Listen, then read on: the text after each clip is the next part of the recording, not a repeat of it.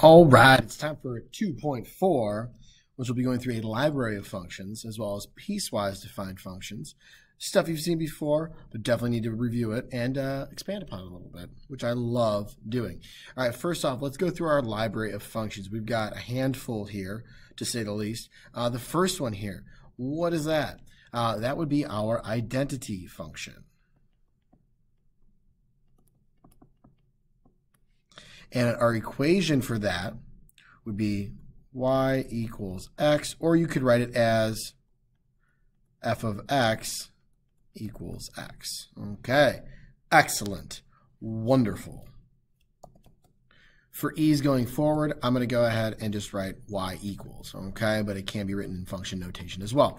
The next one, that is a quadratic here, what we call is the square function.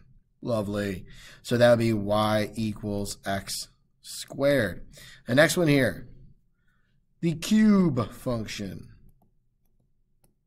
That'd be y equals x cubed. If you'd like to go ahead and try this on your own, hit pause, see if you can remember all of them, and then let it play through, all right? Uh, it's always nice to test yourself. Uh, the next one, we have the square root function. Does not look like any. That's a little better. Um, and that would be y equals the square root of x. Cool. Fantastic. All right, we're down into the next one here. What do we have here? That is our cube root. And that would be y equals, and then we'd have our radical with a little 3 right there. Awesome. Next one we have is absolute value absolute value. All right, and that'd be y equals absolute value bars. Boom. Dunzo. Excellent. The next one, we have an exponential growth function. There's also exponential decay, um, but for this one, we will we'll just do the, the growth function so we don't get too overwhelmed here. Uh, exponential growth. All right, and that would be y equals b to the x. Oh, losing the light. And that is when b is greater than, ooh, voice crack. I'm leaving it. b is greater than, not zero, one. All right. So when that base is larger than one, we have a growth function. Excellent. Okay. And the last one, that is our reciprocal function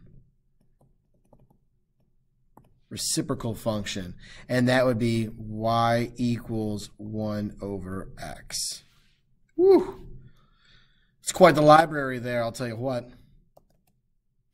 So although uh, we have a, a, pretty robust library at this point in time, we actually have one uh, graph that we that we left out. That is the constant function. Why might that be? Well, the reason why we did that is because uh, there's really an infinite amount of constant functions. So um, we didn't want to give one particular graph and say like this is it. Uh, so let's go into an example. A constant function is just like a y equals say three or two or any real number. So really it's y equals b where b is any real number. And an example of a graph would be something like this. I would have, I'll change marker for the actual graph. Um, just when I said y equals 3, 1, 2, 3, boom, that would be 3. All right, so it's a horizontal line. That is our, uh, that is our constant function, right? y equals some number, any real number. Cool. All right, so now that we have our, our whole library, right, uh, let's start looking at piecewise defined functions. So uh, a piecewise defined function is when a function is defined by different equations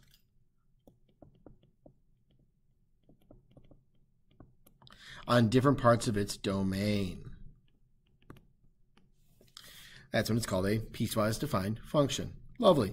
Again, you've seen these before a little bit, uh, but we're going to work with some here and uh, probably ask a few uh, different questions than you're used to. So this piecewise uh, function is defined as what we have here, right? Three different parts. Um, so we want to find f of negative 2, f of 0, and f of 3. So let's go ahead and do that. Well, how am I going to find f of negative 2? Let's start with that. Well, if I'm doing f of negative 2, I can't just plug it into any one of them. I got to find that one that fits its domain. So here I would have x is less than 0. That would fit, right? Negative 2 is less than 0, so I'm going to go ahead and plug that in here. which gives me 4. So there's my answer for that one. So let's see here. How about f of 0? Well, if I plug in 0, which one of these, which one has the domain that would include 0? Well, that would be the one that says x equals 0. So that means it's just 2. That's a constant function portion of that. All righty. And then lastly, f of 3. Well, hmm let's see here, the one that's greater than 0 would be the one that would include 3 in its domain, right? So I'd have 3 plus 2, which equals 5. So I just substituted it in there. We're good to go. Part A done. Excellent.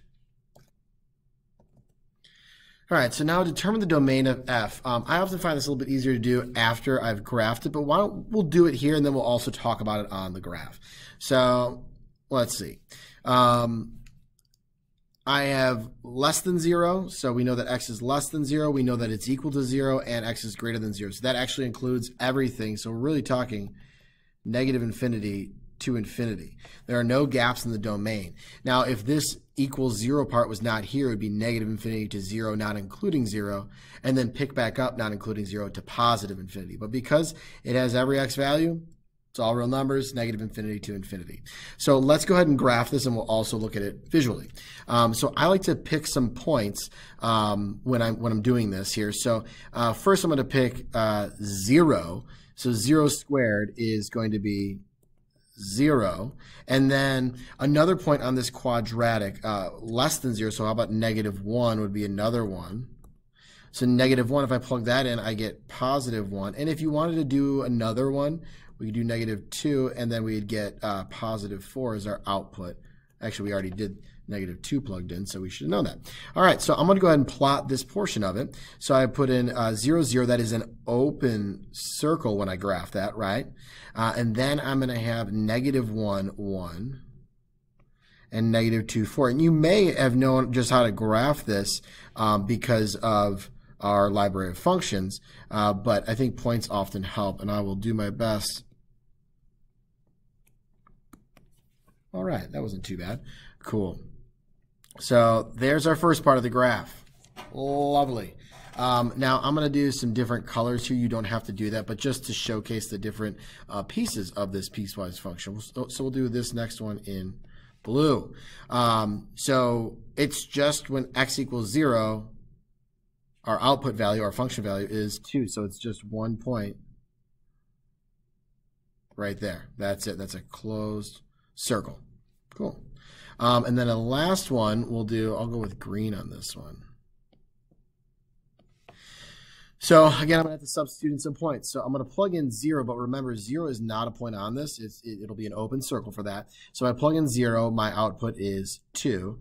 Uh, if I plug in, let's say 1, and we know this is a linear function, so it's just going to be a straight line. If I plug in 1, um, I'm going to get 3 and I, we can really stop there. With the quadratic, I like to have a, a, few points to show the curvature of it. You may, again, have known just the shortcut, you know, you're counting up, um, and that's fine too, as long as you're getting the right thing. So I'm going to plug in the point 0, 2, all right, which is right here. So I have an open circle around that. Let me get a little closer. And then I've got 1, 3, and since its slope is 1 from our knowledge of linear equations, we can just go up 1 over 1 and whee, just like that. Excellent. Wonderful. Cool. Yay. That was pretty awesome. So we've graphed it. Happy. Now, let's talk about that domain as I try to recenter this. There we go. So that domain, now we can see on the graph, well, it, it keeps going up and to the left. So it's infinitely going to the left. It's infinitely going to the right. And there are no gaps because you have this solid dot here uh, where there were the you know the open circles so there's it's you know all the way through cool so negative infinity to infinity alrighty now we're going to use the graph to find our range so a range where does it start what's the lowest it goes it looks like it goes all the way to zero but does not include zero So we have 0. Well, that's the end of third period. Uh, so, and then does it ever stop going up? Does it have any gaps as we move up? It's it's uh, we're solid here, and it keeps going up. It keeps going. It goes to infinity. Awesome. So this is not like some kind of a break here. Now, uh, because we have this function in pink, or this part of the piecewise function um, in the pink color, uh, that would, you know, bridge that gap, so to speak. So we're from zero all the way to infinity. Lovely. So just to reiterate about that um, comment about the range, about that jump, that is a common misconception there that people are like, oh yeah, I got to take that out of my range." Mm-mm. Okay, there's graph going on there. So is f continuous on its domain? That's a good question. Um, in this case, no.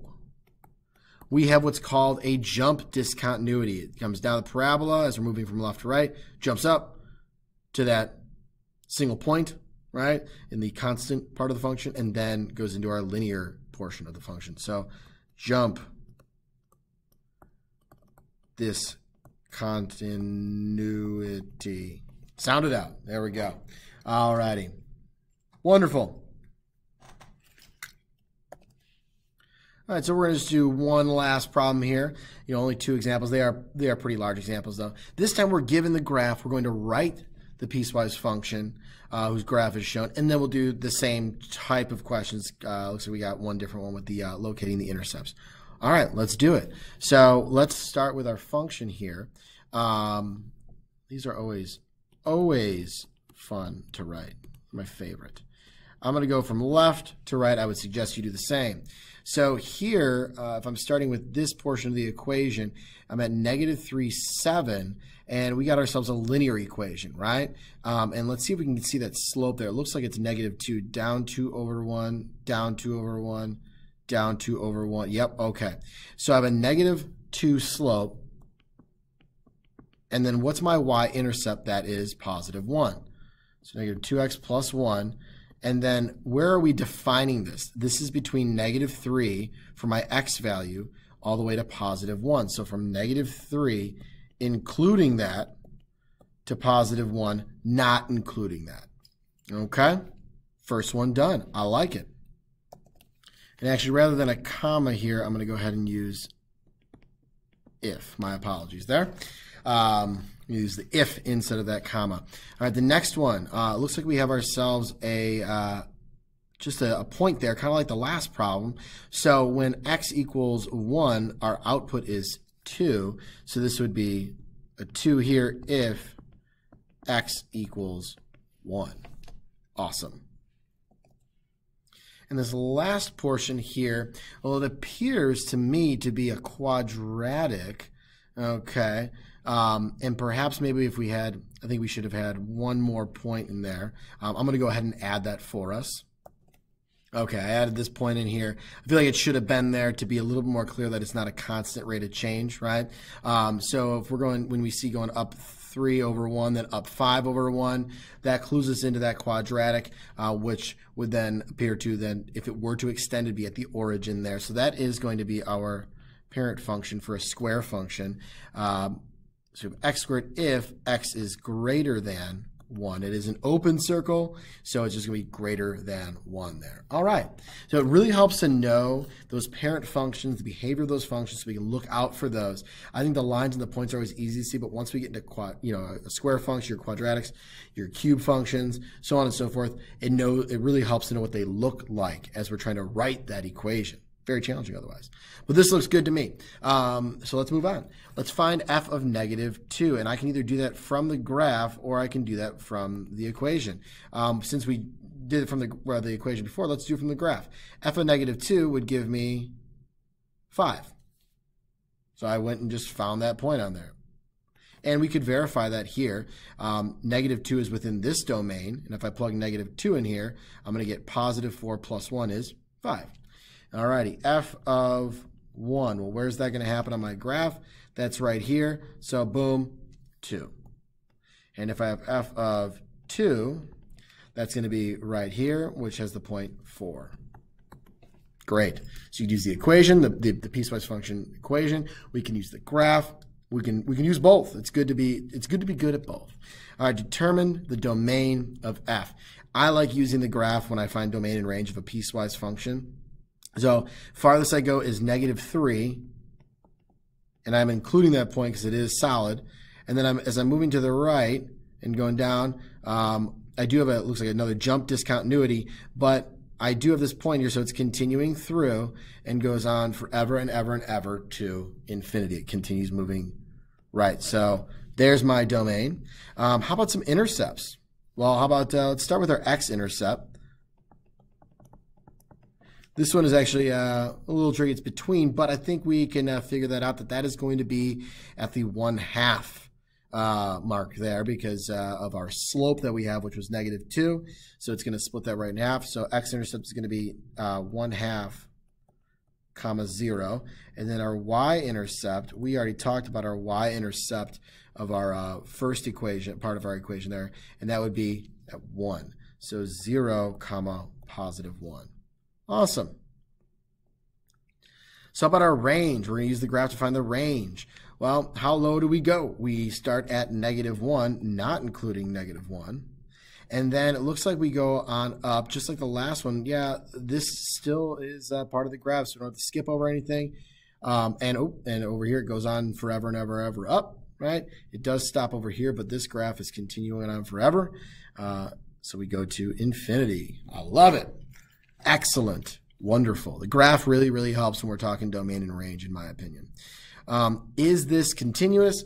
Once again, we have that jump discontinuity at x equals 1. So no jump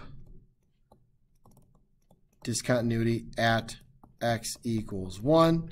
So it's not continuous on the domain. That is it for this one. I hope you guys enjoyed it. I know I sure did. Um, and I will see you guys later in the next video, in class, all over the place. Who knows? All right. Have a wonderful day. America, freedom, rock and roll, Costco. And Riverdog Jenny on the gram.